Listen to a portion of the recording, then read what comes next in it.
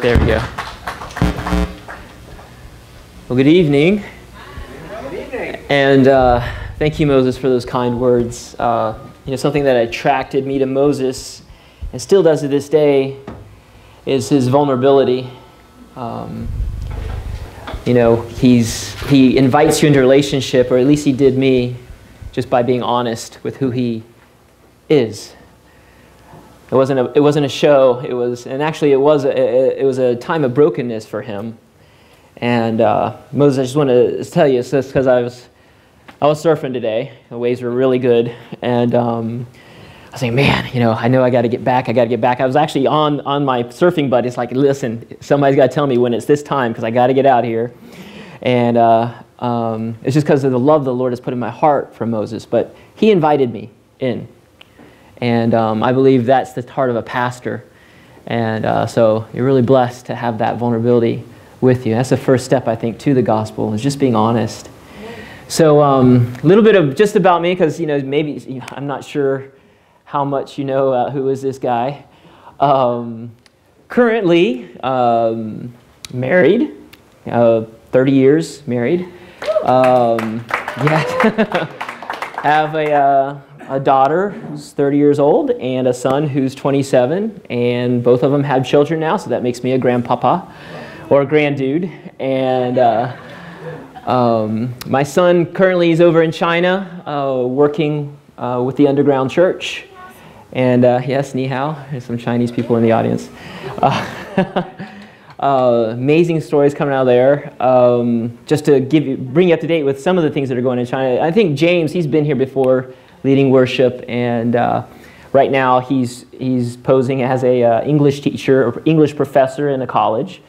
And, but on the side, he's teaching the underground church how to worship.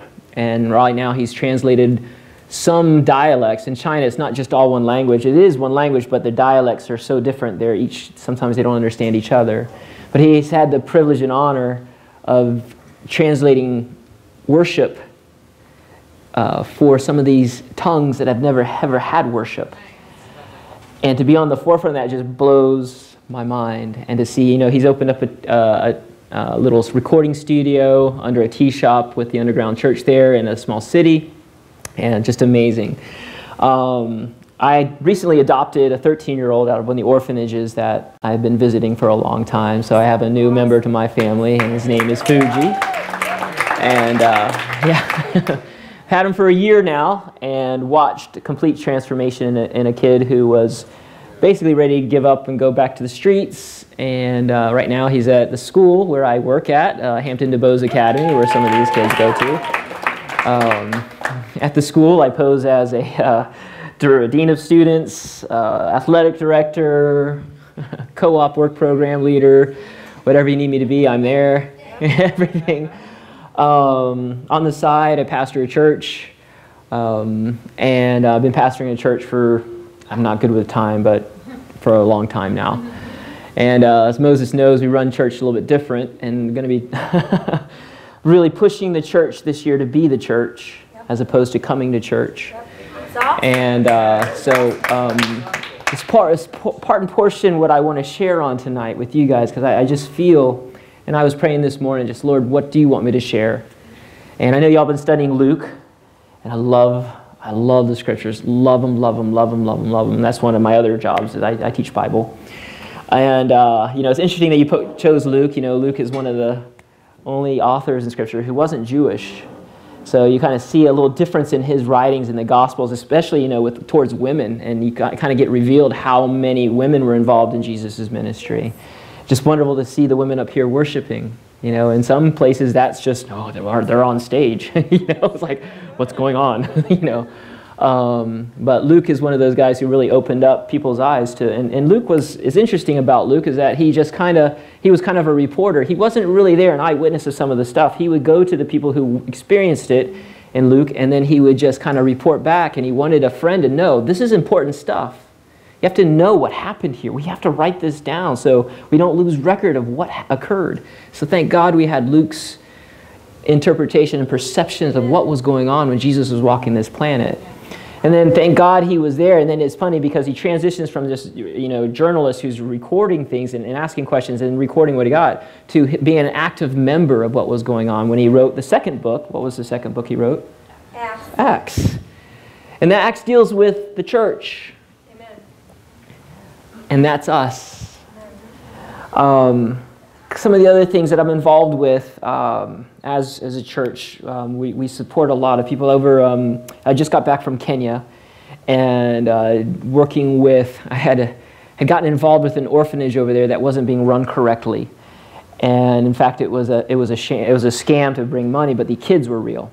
And I knew that. I've known that for two years, but I didn't know how to change it and I introduced myself to the kids, and like I, you know, a lot of the ministries that were supporting this place, they just pulled out. They say, "Well, it's a scam." I said, "But the kids are real. Right. What are you going to do?" Um, so, finally got an opening through our government, believe it or not, in D.C. Of, a, of an adoption. They hooked me up with somebody over there. Long story short, Lord says, "Go. It's time to go," and I'm ready to confront this man. We understand that this man also had. He was one of the board members on this scam. Was the chief of police in this city.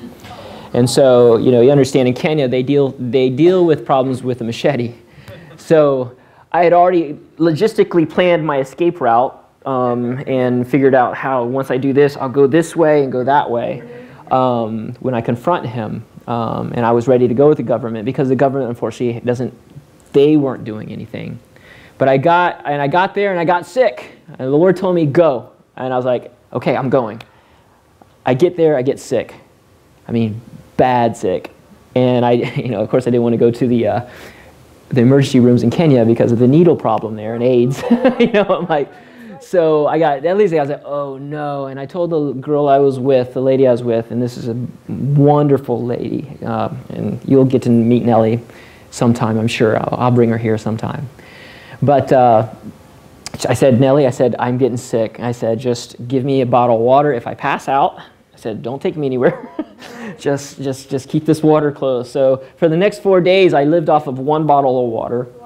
And I, every, every, every hour, I was just going through it. And I knew I had the prayer covering. I'm saying, Lord, what's going on? I said, you sent me, you said go. And I was four days, and I hadn't eaten anything. And I had, I had to postpone one meeting. I said, but I've got to get in front of the government because... So the fourth day, I said, I've got to go. I said, Lord, what do you want me to do? He goes, show up.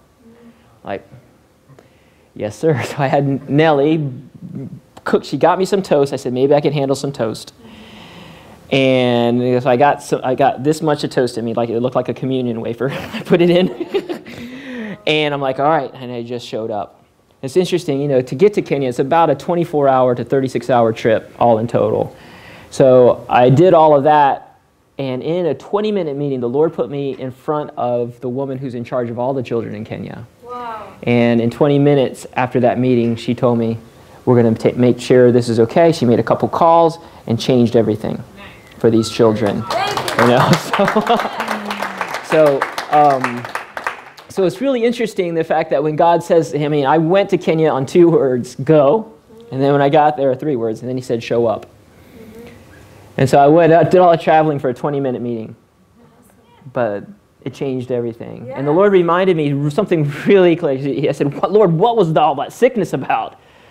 And he goes, Jim, I want you to understand, in the season that you're in right now, and this is coming up to where, where we're at tonight with me and you, says, It is not by your strength. I will move in your weakness. That was a lesson learned. I want to tell you, that was a lesson learned because I was miserable. After about the third day of being sick like that, you start hallucinating. like, where am I? What's going on? All these weird things start popping up in your mind. Um, so, anyways, uh, out of that has birthed another, uh, an amazing, because I'm into the slums over there. There's some of the toughest slums in Soweto. And this girl, Nellie, and we've, we talked. And she would sit on my bed as I was sick. And you understand, this is like a daughter to me. And she would sit on my bed and she would just talk to me. And she's one of the strongest women I know. And she would talk to me about, I said, I said, if you really want to change that neighborhood, get to the children and because she's doing the ministry with women who, you know, we're, we're helping her get these women get out of sex exchanging stuff for sex because that's the only way they can make money. It's not that there's, it's just that's all they know. So we're, we're using Ragamuffin as a business that I run on the side. and we're using that to try to get products and things like that to give them an alternative. So I meet with them all the time, but they all have children. And I said, it's going to change. Ministry is going to change uh, with these children. Give these children so they go back into their, and you get a different generation rising up. So last, she just texted me this morning. She started two weeks ago with the children, with 13 children in a Bible study out of this slum. She has up to 43 kids. And uh, so, um, yeah, just blows your mind what God can do. Um, so I just want to, I just going to give you a little bit of news from the fronts of certain areas that uh, God is moving. God is moving. And, uh, you know, and also the miracles that are going on. I won't go into all that right now because I really, I have a word for you guys tonight. And um, it's burning on my heart. And uh, it comes from maybe two visions that I've had about the church. And the first vision, this was a while ago, this was a long time ago. And I had this vision, and I probably shared this with you guys. I, and maybe I haven't, but I probably shared it with you. But I had a vision of have you ever seen the show MASH? Uh, the TV show. It's an old show. Some of the younger kids like, what's MASH? Um, you know, but it's you know a, a, basically a story about doctors on the front lines of a war. You know, the Vietnam War and or Korean, sorry, Korean War. Yes, you're right. That's been Korean War. And they're doing all this surgery stuff, and it's it's an emergency room. So you can imagine the people that are being brought to them. They're blown up bits. Well, I had a vision of that type of tent. It was a makeshift army tent, and I was in one of the I was I was sleeping in one of the the beds, and there was a lot of people, my friends and other people beside me in my bed. And I was sleeping. I woke up and this was the vision I had. I woke up and I was laying in the bed. I'm like, and I, I instantly talked to the Lord. and said, "Where am I?" And I, he's just like, "This is where you're at." You, he just kind of, he was just kind of vague. This is where you are. I'm like, I, I, can see it's a hospital room. I could hear, I could hear shells going off in the distance. Mm-hmm. So I knew I was in a war, but I didn't know. I said, "Why am I, why am I in here?" And I, I looked around and and I go, "My friends are in here. My family, some people are in here." I go, "What do you want me to do?" They were all sleeping. And I had just woken up. They were all sleeping. And he said, Wake them up. I'm like, Okay. So I, I, I got the closest person next to me. I said, Hey, hey, wake up. And the person is funny because they kind of woke up. Oh, hey, Jim. How are you doing? I go, I'm good, but do you see where we're at? Yeah, yeah, this is weird. And but I'm glad to see you. I'm glad we're here together at least. I'm like, yeah, but I don't think we're supposed to be in these beds. And he's like, Yeah, that's okay, but you know, I'm kind of tired. And went back to sleep. I'm like, and I said, Lord, what else? you know, it's like he went back to sleep. And this is, an interesting vision because it happened more than once.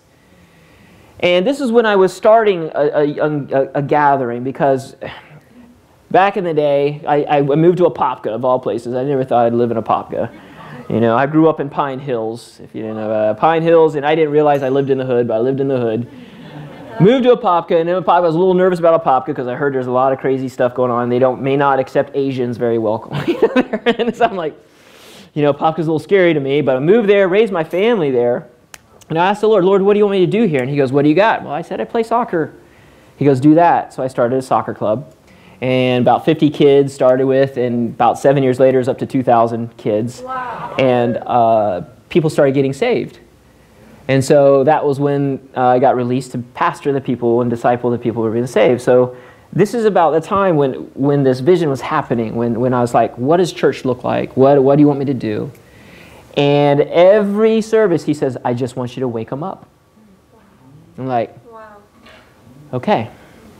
And it was interesting, as the dream, as the vision progressed, then I started seeing people wake up, but every time they'd wake up, they'd go like right back to sleep. And I'm like, Lord, this is very frustrating. And I know pastors from the pulpit sometimes feel this way because I believe you guys are semi awake right now, especially after that worship. All right? Um, but it was interesting because the dream progressed to where I said, I, I, I got back in the vision. I said, I, I'm getting out of this bed. And I went to get out of the bed. And I went to get out and like, I can't get out. Someone's holding me back. And I looked down. I was handcuffed to the bed. Wow. I was like, Lord, I want to get up now. I, want to, I, want, I, I really wanted to be out of this place. But I was handcuffed. I said, What does this represent? Yeah. And he goes, Sin. I was like, and I was like, whoa. Getting back to uh, Moses, he requires for sin a vulnerability, not only with God, but with each other. As James says, the book of James, confess your sins one to another, almost as is, it's a lifestyle of being honest. And you know, as much as I've confessed or been open, it never gets easier. I think maybe I'm practicing this now. It gets, I, but every time, and the moment I saw that, I said, I know what I got to talk to my wife. She's my best friend. I just tell her some things that maybe I've been hiding. Because, Lord, I don't want to be chained to this bed. And you know, you go back to the garden, you know, the easiest thing to do when you sin is to hide. It's easy here to pretend and hide. As good as the music is, as good as everything is, as, as, as powerful as God, a lot of, and this is the first step, by the way, to the gospel. This is the first step to a cure to sin, is to be honest about it. I wish you could skip over to the power of the Holy Spirit and not be honest. But you have to understand that understand about the gospel. The gospel is to bring you back into a right relationship as a friend of God. And in this is the mystery of the church. That one day, in the dispensation and age, and the prophets in the, in the 39 books, the prophets looked into this age and they looked into the mystery of the church. What is this church? Where God's Holy Spirit would live in an individual the Holy Spirit that they understood. The Holy they saw it in times. They saw when the Holy Spirit came on a man named Samson and he was able to rip a lion in half. They saw when the Holy Spirit would hit the prophets and the prophets were able to make axe heads raise and people come back to life. They saw when the Holy Spirit would come upon a human being and what would happen, but it was like it didn't stay, and it was on and off. And it, I think King David was probably the only ones who understood it in fuller. Can you see his psalms? You see how he speaks about the Holy Spirit. But the mystery of the church was that one day God would allow his Holy Spirit to stay. And you can understand because in, in, in our terms, what the, what the church should really, really look like is what our minds, our imaginations go to superheroes the first 12 disciples, it says the fear fell upon the people because the, the first early church with the Holy Spirit, people would lie to them and they'd die. That's right. That's right. All right. Some of them would just set their people out, they're sick because your shadow would pass by and they'd be healed. Now, there's been a lie propagated inside the church because I think Satan tried to destroy the church early on because he saw what man looked like in the garden and how he had to get that out of the way. Then he saw what was happening in the church that these people resembled Jesus Christ. Not only could they resemble, but they were doing greater things.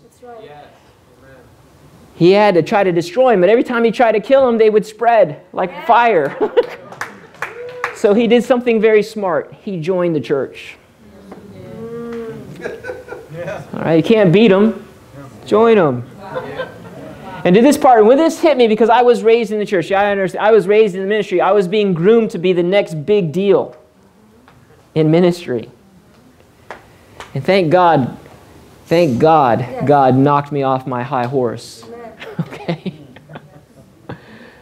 Thank God. Because what I have found out that the church right now has forfeited the power of God for principles good godly living. Please don't drink, don't smoke. Please dress this way. Self help tips. Your five year plan, your three year plan. We traded the power of God, we traded the gospel, and we've fallen asleep.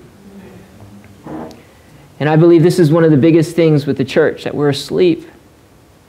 We may be having some good dreams together once in a while. We wake up on one day a week and go, "Hey, how you doing?" Praise God. And if I, and this really got to me because unfortunately there were books written, unfortunately, unfortunately, there were books written that challenged my thing about what the church should look like. That Jesus said, These signs will follow those who believe. They will cast out demons in my name, they will heal the sick, Amen. they will raise the dead, they will do even more things than I did. Amen. Now, my imagination, when I saw what Jesus did, my imagination, I can do this? And I think a, a thing has, a lie has crept in the church that says, well, that was just for then. I've heard it preached. I've heard it taught. Don't expect that to happen now. Satan joined the church. And he's made us forget who we are, who we're called to be. And if you don't see these things in your life, if you don't see these signs of following those this stuff that believe, if you have, you know, and yes, you've asked, yes, I've wrestled with demons. They're the little boogers on the bottom of the ladder. That's right. When you're standing against a principality in another country, then there's something different. Yes, these hands have seen the dead come back to life. Amen. I'd love to continue testifying on some of these, but I want you, that's not the point tonight. The point tonight is to understand that it's about you right now. Who are you? And one of the things that Satan has done so well is to steal our identity. This mystery of the church has become pathetic. So we've adopted, in this country especially, but it's all over the world, we've adopted business principles to grow. Have you heard church plants? You know, it's a marketing plan. And look how many people we got, praise God. And I know how many churches have folded because they didn't have enough numbers. So, what I have done this year with the, the church that I'm pastoring, the community I'm pastoring, whatever you want to call it, because I'm getting out of their heads that we don't go to church. We are the church. I just can't get that through. You are the mystery revealed. But what is it revealing? What are you? Who are you? Do you resemble Jesus Christ? Are you experiencing the things that the early church wrote down? And Luke decided to say, man, this stuff is real. And then he starts seeing, I am the church. And I'm moving in these things. And so this dream went on. And so as, as, as, as this vision came and, and I realized, you know, and I, I started leading the church in this, into vulnerability with who we are, really, in relationship with each other, deeper relationships. Because you know what it requires to be this church is those type of tight bonds, these tight things. And, and most of the people who are still with me, they li- have lived with me at one time or another because when Jesus said, go and make disciples, I just took cue from him. He had 12 knuckleheads follow him around for three years. And I can't tell you how many people have lived in with me. I, I really can't. I still have people living with me. and my wife knows that, like, yeah, you know, no, no, they can't come here. you know, no, no, I, I've got to draw a line where, you know. But discipleship is intimate. Being the church means being vulnerable. It's the first step. It's what John the Baptist stood for. I'm making a way for Jesus Christ to invade your heart. John the Baptist. So, what was he preaching? Confess and repent. Be honest and change. Confess and repent. But it led us to a Savior. It led us to somebody who said, I'm going to get rid of this sin. I'm not just going to cover it, I'm going to get rid of it. Amen. And the cure to sin is called forgiveness, if you didn't realize that. All right?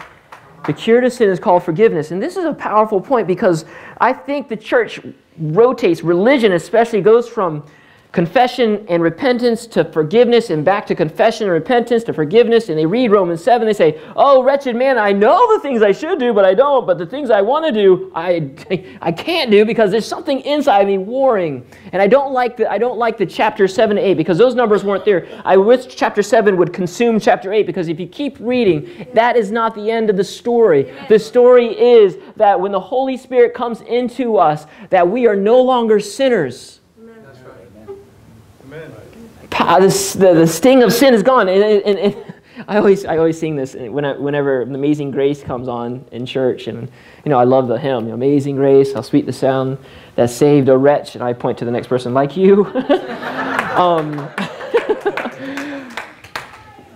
because you know what and this is this is the thing that comes with the cross responding to the cross you know how do you receive the cure of forgiveness how do you receive that and it's interesting people say just ask for it no jesus is very specific if you want to receive this cure for sin, If you want to receive forgiveness, you have to forgive. It's in your ability to decide, I'm going to let this stuff go. Your trauma from the past, the people that have hurt you, the people you have hurt. And anybody who knew that was Paul. Paul had done a lot of bad things. And how do you, how do, you do that? He, Paul tells us, how do you let things go? Well, forgetting what lies behind, I press on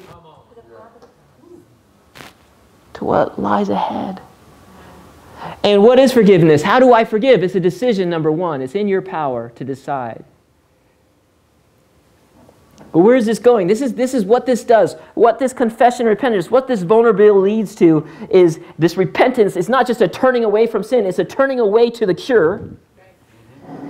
There's the blood of Christ. There's, there's him hanging. He's like, what, how do I receive this cure to sin where no longer am I a sinner, just saved by grace, but now I am a saint? How do I see that? Let it go, Jim. Give it back to me. Give that person back to me. Give that stuff back to me. Give it back.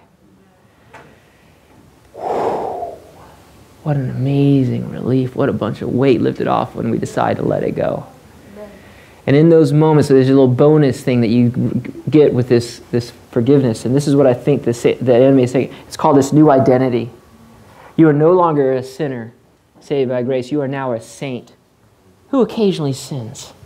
Yeah, that's good. All right? But it's not our practice anymore. It doesn't have power over me. I don't have to obey it. So I am a saint who occasionally sins. But when I do sin, guess what I go back to? More vulnerability. This is where I'm at. But the cool thing is, he didn't leave us there. Now, this is the part that I want to get to. Jesus didn't leave us with this, this new identity. Now, this new identity is pretty awesome because whenever Satan calls it, I, I, I have it like a, a, card in my pocket when he says, Yeah, I remember when you sinned, and I remember, and remember, he's the accuser of the burden. I, you do this, you're not worthy of this, and I always pull that down. Can you read this big word on here? My new identity card says, Not guilty. you know? And I wave this at the accuser, and I said, I'm sorry, I'm not going to spit on my Lord's cross by. Making an agreement with you. I said, You might be right, but I know the judge. you know, not guilty. His blood is enough. You got nothing on me. My wife already knows this. They know this about me.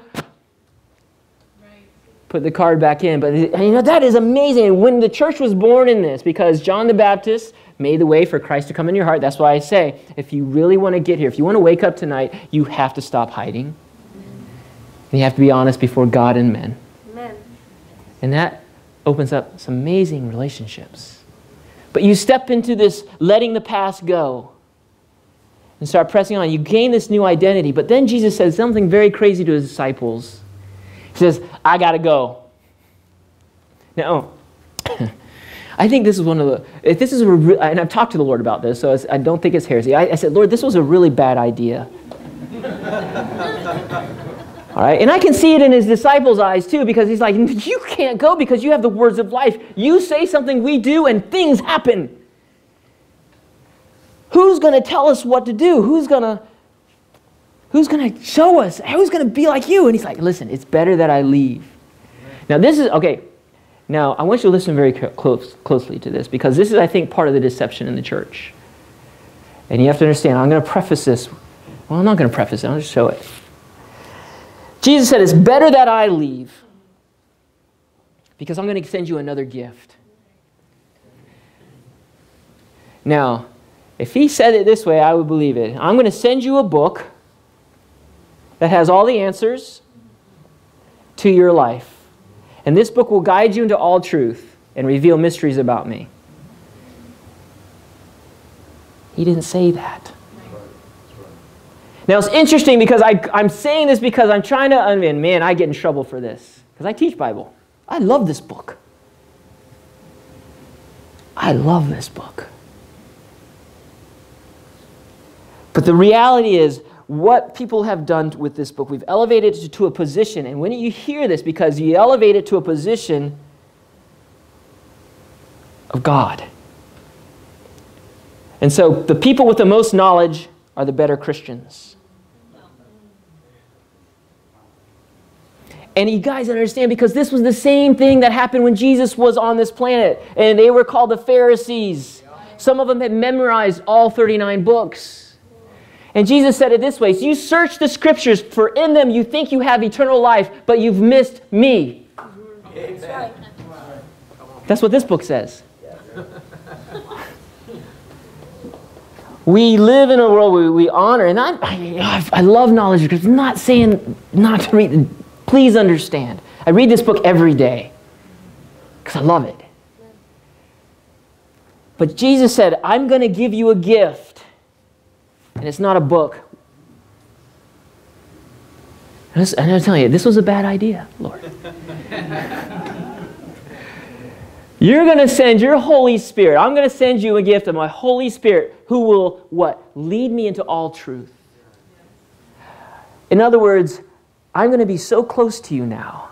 I'm going to choose to live inside of you, to where your thoughts and my thoughts are going to be one. I'm going to I'm going to give you the mysteries of God. If you want to know the mind of Christ, I'm going to put my spirit inside of you. The same spirit that rose me from the dead, the same spirit that spoke, and boom, a planet was born, a star was born. The same spirit that made all this stuff, I'm going to put inside of you. Now, we don't believe that anymore. That's like a good Santa Claus story. I would like to believe this, and it's like I would like to believe Santa Claus. He's a little creepy, all right? But at the same time, I would like to believe that, hey, it's true. Man, once a year, he brings gifts to my kids. And all I got to do is leave them cookies and milk. I would love to believe that. And when I speak about this, it's the same thing that we hear. The Holy Spirit is going to live inside of me. I would love to believe that for me. I'm kind of tired.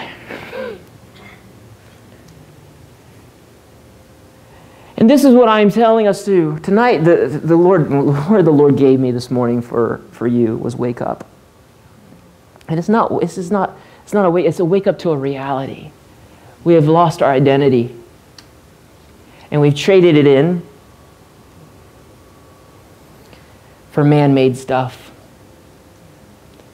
You know, I could, I could create a big church. I could. I was raised in it. I know how to do it. I sat in all the meetings. I could get close to 5,000, 10,000 people, probably, if I really went after it. Look what I've done. But I watched these men, I watched these big churches, I watched the things I've been a part of, and I said, where are the signs of those who believe? So I traded it all in, all my understanding. I went back to Paul's gospel in Romans, and I, I delve in. And I realized, oh my goodness, we've been lied to. Yes. And we accept it and we come together and we fake it.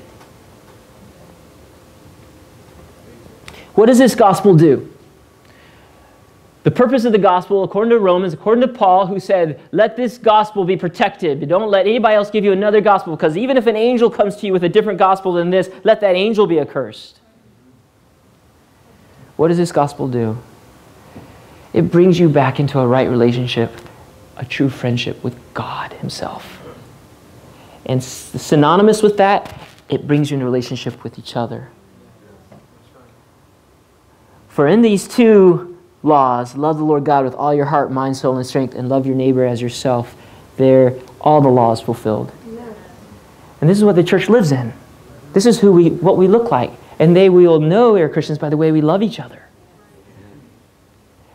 And it's more of a, how you doing today? Good, good. We wake up on these meetings and that's fine. But how do we stay awake? But most of us, it's not about just staying awake, our jobs to do. It is a perception of who we are. And I believe Satan has stolen our identity as the church, and we've settled. And me, for one, I'm not settling. No. And it's crazy how this happens. It's crazy where this is. I said, Lord, all right, the ultimate power, you know, whoa, you know, I want to go do something. I want to do And what did he do when, he, when, when I wanted to go? I was like, yes, this is amazing. This is what I want to see. And guess what showed up on my doorstep? A little nine-year-old black girl from South Apopka named Kim. Now, I had all these dreams. All these things were going. I'm like, and I go, I'm going to go start this and I'm going to do this. He goes, no, I want you to love this one. Guess who showed up on my doorstep in that girl? Jesus Christ showed up on my doorstep. He goes, I want you to love her. And I fought him. I said, Lord, I've got all these amazing things I want to do for you. I want to go build this and do that. They need to hear this word. And he goes, No, you need to live it. Yes. So good. I was like, Yes, sir. and I took this nine year old in, taught her how to play soccer. Had to bring her back every soccer game to apologize to the other team because she was very angry. um, my children, she would fight with my kids. Um, she left me one time because she didn't want to do her homework.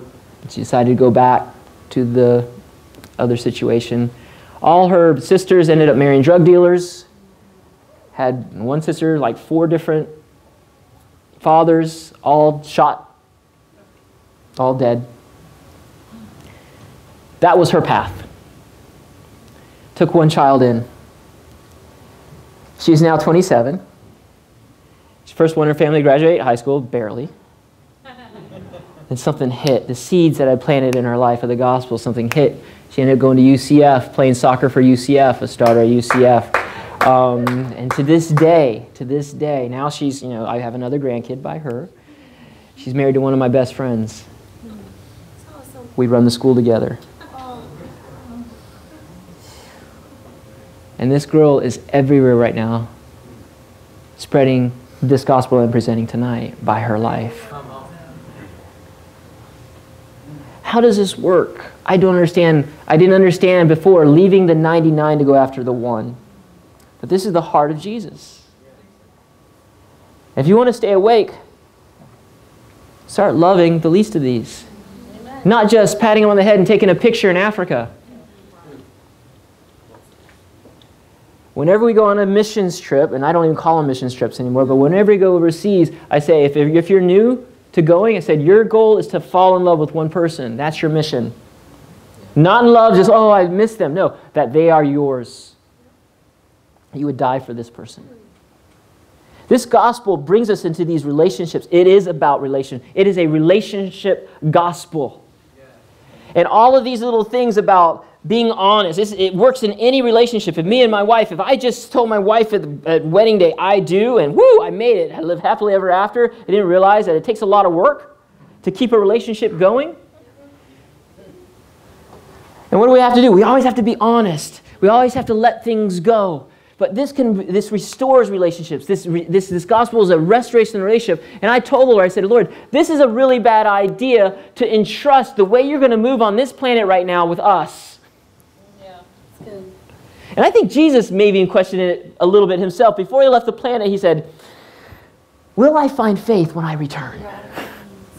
I don't think he was, I don't think he was testing him. I think he was, he knew the hearts of men. He's like, Will I find faith? He was still saying to his disciples toward the end, oh, when John, they're saying, oh, mom, their mom's coming, who's going to be the greatest in the kingdom? Can my son sit on your right and the other uh, left? And all the others like, Psh. he's like, how long am I going to be with you guys? and you don't get it yet? That the kingdom of God is right here. And I believe you can't see it in the Bible, but I think the kingdom of God is right here. I think he was pointing at their hearts. And, and Peter's like, What? What, what do I got? Peter was still trying to chop off heads at the end. You know, it's like, all right, now, we, now we're going to bring your kingdom on this planet. No, the kingdom of God, if you want to pursue the kingdom of God and make that first, you're going to be pursuing the real estate of people's hearts because that's where he's establishing his kingdom. And what does he call? What does discipleship look like? What did discipleship look like to Jesus? Jesus said, Now I no longer call you a servant to a master or a student to a teacher, but I'm calling you my friend. The end of Jesus Christ's discipleship program was a friendship. So, what does discipleship look like today in the church? It should be going after making friends. That means you're giving your life away to somebody else as Jesus was washing their feet, showing them this is what it looks like to lead in my church. and guys, this is hard stuff. This is where it gets messy because you have to you have to be vulnerable and you have to intentionally love each other. And I took the money aspect out of our church. Not that I don't want giving, exactly. He said, giving, give out of a joyful heart. But I said, I'm not going to get paid. Our worship pay is not going to get paid. We'll take the money out of the church. If we can't gather because we love each other, then we're not going to gather. Because the meeting is great. Do not forsake the gathering of believers. We gather. But this is the second vision I got about the church. And I apologize. I don't want to go too long. I just, I just, I don't get to talk to y'all a lot, so I want to finish with this. The second vision I had of the church was, um, uh, I, I remember it was just like zooming in. There was a, it was dark. We were in the woods, and there was a little fire. It started here, and these big men, and they were, you could tell they were warriors. They were starting a fire. And as they were starting the fire, they were putting more logs on, and they're getting ready, getting ready, getting ready. And as the fire grew, you could see these warriors coming outside of the woods, and you could tell they had been at war. They were some of their armor had been broken, some of them had wounds, um, and they were they, some of them were limping in. And as they did, and the people who were there first, the people, the, the fire starters who were there first, they started they started dancing. And as they were dancing, and the others there, you could tell there was music involved, but I couldn't hear them, but you could tell there's music because the warriors, and I called it the warriors dance because I saw it. The warriors dance were dancing around this, and as they were dancing, the fire grew, and you'd see some of them arms, and they were moving almost tribal like, and then you would see their wounds start healing. Wow. You would see the armor just go back to restored. And I was like, Lord, and, and you see some people were attracted to the fire, but you could tell they weren't warriors, so they were standing behind trees. And they were looking, they were interested in the fire, but they were afraid of the fire. Said, Lord, what is this? And he goes, This is how I want you to do the church now when you gather. And I said, Who are the first people? He goes, Those are your worship leaders starting the fire. And I said, What, what is it? I said, Obviously, I said, Lord, the fire is your Holy Spirit, right? Just We're just. And he goes, Yeah. And the people who come, they're going to offer themselves as living sacrifices of praise. They're the logs. But as they come to gather, they've been fighting. And you understand, at this time, I had gotten most of the church to be vulnerable, most of the church to confess, repent, most of the church to understand what forgiveness is, but we're going to start moving in this. And so I would send them off during the week, and they'd be awake, and they're pursuing the one, pursuing loving the one, pursuing loving the one. And we'd come back, and they'd been bruised, so we'd come back and we'd worship together. And I'd call it the bon- we call that's why we call it bonfire worship to this day. We come back together. I never, I don't, I didn't market it because I wasn't trying to market it. I didn't want to. If you came, is because you knew one of these warriors or you were one. And they would come, and we actually we literally did it in the woods or next to the woods with mosquitoes and everything. and how powerful these services were and are. But the interesting thing about this, I would pull out, the Lord gave me a further vision of this. He pulled me out and He showed me, it's almost like the E.T. woods, you know, where you pull out at night, you know, and you go over and hover. And I could see other little fires going. And I knew some were real, but then he, I checked one fire didn't look like, I went to a flame and I looked down and I got, got back in. And what it was, there was a bunch of people around this one little flame. I'm like, whoa what's going on here? I got excited. I saw a lot of people, and it was, and, and they had cut some of the trees down because they because it was too crowded and to get the people, so they cleared it. But I looked down, and, and, and the music was a little weird, different. It just didn't make sense to me. And I looked down at the fire, and it was one of those plug-in fires. Wow. and what I what I heard in my spirit saying is that they had traded my Holy Spirit for something that was safe because it brought more people. And I thought, what a. And these people weren't dressed for battle. They didn't know what war looked like. And it broke my heart. It was pathetic. And so the two things that are common in these two visions, the two the one thing that's common in these two visions is there was a war going on. There's a war going. Why is that little girl alone tonight in an abuser's hands? Because we don't love. We don't care. We're asleep. That's why I told Lord, this is a bad idea leaving this in the hands of us. You got to understand, God loves to share his authority. I don't understand why, but I do understand why, because he's so relational. Even when Jesus said, you, you know, when oh, go back to Peter trying to cut off that guy's, Peter, put your sword. Don't you know that people who live by the sword will die by the sword? Don't you understand that even if I called my father right now, I would pray to him, a legion of angels would show up. Even with the angels, he shares his authority. Don't understand, your prayers are powerful. I had a, I had a morning when I was walking, talking to the Lord, and I looked behind me. It was 5 in the morning. I looked behind me. As I was walking in the neighborhood, and I saw a contingent of angels behind me. I was like, What's that, Lord? What are they doing? And he says, They're waiting for you. I'm like, What are they waiting for? For you to pray. And I'm like, your resources are not of this world, literally. And you got to understand, we think these angels pop in and out, but no, Daniel had a vision from the Lord. It freaked him out. He's gone on his knees. Lord, what's the answer? God didn't show up with Daniel, did he? He didn't show up right. Here. Let me tell you, Daniel. He says, Gabriel, go give Daniel the answer. What happened? Gabriel couldn't go. He's like, I'm fighting a war against the prince of Persia. I've been withheld. He's like, God, I'm, I want to go, but got this issue. God, Michael, go take Gabriel's place. Send your angel. Gabriel, go do what you got to do. Three weeks later, poor Daniel. Gabriel shows it to Daniel, who's been fasting and praying for three weeks. Says, Gabe, uh, hold on a second. Daniel, greatly beloved of the Lord, I was sent the day you started praying. Took me three weeks to get here. Sorry. Prince of Persia, Michael. Long story.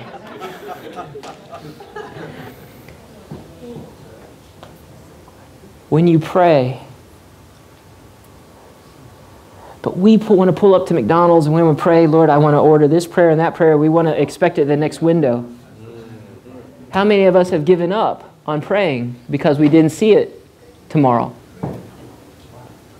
I'm sorry, but the angels are going, they stopped praying. That little girl stuck because there's no love connection to her. We want to help.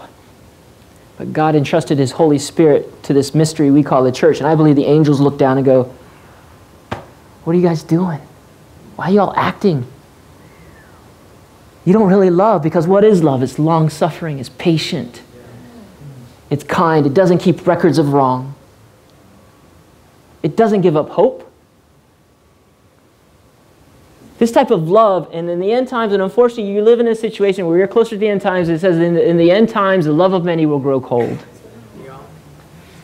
But what do we got to do in that? I believe that sometimes, I believe God was ready to come back a few other times, but I believe some Christians got together, I got people got together and said, no, there's more to be saved. And start with me. Amen. It starts with me. Amen. And so the church has been grown accustomed for watching a leader up here kill himself to wake us up, but we don't, we just want to be tickled, we want to be, but we don't realize that's not, the, the, the church is not a hierarchy. It is. If you want to be the greatest, go start serving. It starts, the church is you. Amen. That's right. That's right. Your education doesn't matter. Your vulnerability does. What's going in your heart with bitterness and forgiveness matters. Your identity matters. Amen. And you honestly hearing God speak to you every day matters. For man does not live on bread alone, but by every word that proceeds from the mouth of God. And in the mystery of the church, He put His word in our hearts. That's how close God's voice is. And if you haven't heard Him today, and this makes me squirm, if I don't hear Him, if I haven't heard Him, I get uncomfortable. I, I, get, I like, I'm not going to move. I'm a little nervous. why aren't you talking? Or why am I not hearing? That's usually the case. Has sin crept in? Has unforgiveness crept in? Has my identity been tarnished? Have I been making some agreements with lies? Where's our relationship? For every day. You know, this is the ch- practical challenge I'm going to give to you. I'm not going to give you these. I, you know, I want to get to. I want everybody living in this spirit. I want everybody to be free because I'm telling you today, I don't know any other better way of living. Because Christ, my God, I'm not coming to give you a big long list of to dos. He says, I am going to give you rest. That's awesome. And I'm going to give you life and life more abundant. And this is not one long church service he's talking about. Thank God.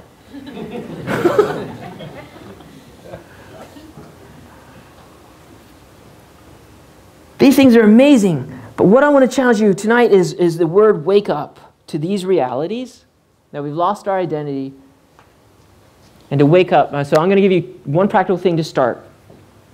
Tomorrow, unless it's your Sabbath, unless you practice Sabbath on Sundays, you practice what every day. Sabbath was made for man, not man for the Sabbath. Okay, that rest was made for you. Every week I have a Jimmy day, and I love it. that day's for me? yes! this was a Jimmy day today. But what I want to challenge you during your week, I want to challenge you to wake up 10 minutes earlier and make your bed. Some of y'all might already be there. Just as a reminder that you need to wake up and that you're not going to lay in bed any longer than you need to. Jesus said this When I come back, don't let me catch you sleeping. Of course, he's not talking to us to be insomniacs. He's not talking about that. But there's practical aspects that we can do to remind ourselves that every morning there is a war going on. When I leave my house, there is a contingent of angels chaperoning me to school. I don't know how many accidents he's kept me from. In Haiti, my bus went down and almost over a cliff. Wow. Principalities were there, were on point. They almost got me. In China, a celestial being held me by my throat and put me up on the on the up on my wall in my hotel room off my feet and looked at me this close like who are you? What are you doing here? And I was able to go Jesus! And he dropped me. Yes. right. But it all starts very practically. In the morning I put on my armor. And I allow him to dress me because what I do is I go to my best friend in the morning and say, What we're going to do today, Lord? Instead of rushing out the door without my armor and thinking that I'm not in a war, that I'm not a target, and that my friends aren't in danger, that you guys are in danger tonight because you're hearing truth. The enemy's going to be all over this place trying to just divide. And all it takes is one person to wake up and start loving the way Jesus called us to love. And uh, learn how to fight, to really become warriors against the principalities and powers in the unseen world. And I won't even go there tonight. But I want to leave you with this picture. And this is a precious picture. To me, I go back to the Santa Claus thing. You know, when you tell kids something, they believe it. And it's funny because Jesus said, you know, hey, to enter my kingdom, to enter this type of gospel, to be a part of this gospel. And I can see all the Pharisees leaning in, going, Yeah. I want you to be, you've got to become like. And he picks up this little kid, and this probably this little kid's like, you know. and the Pharisees like, you know, their, their, their Bible and they're, they're like, well, he's, he's mad. he's lost it, you know. And this little kid's like, yeah, you know, just. and I want you to understand this because to enter this kingdom, you got to go back to being like a little kid and believing a heavenly Father who is good. and the faith that little children have because I, am blessed to work with them all day and I love the little ones, their dreams, their, their ambitions, the things that they believe. And you guys, you're going to process this as adults.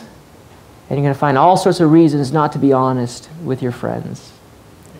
You're going to find all sorts of reasons not to let things go. You're going to find all sorts of reasons not to go take, make your life more uncomfortable by including somebody else in it. I had all sorts of reasons not to adopt Fuji, my son. Not enough money, not enough room. And one day you'll answer to Jesus and say, he'll be up there and says, When I was hungry, you have to answer to that, not, you know, you have to. I can't cover for you in that moment. When I was thirsty, when I was in the prison of, of what I was, my situation, did you visit me?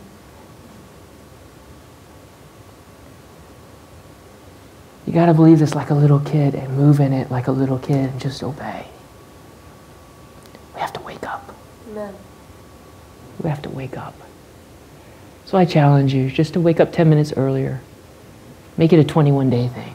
It takes about 21 days to form new habits, anyways. then make it a 40 day thing because then it becomes a lifestyle. Make your bed. Get out of it and make it. It'll be there. It'll be there. So I want to tell you, I love you guys with all my heart because I love Moses. I believe in what he's doing. But I believe in the church. I still believe the church exists, even if it looks pathetic, even if it's asleep. But when the church rises, when 12 men, they turn the world upside down. let it start here with me. Amen. Amen. So, um, that's about it right now. So. so. Thank you.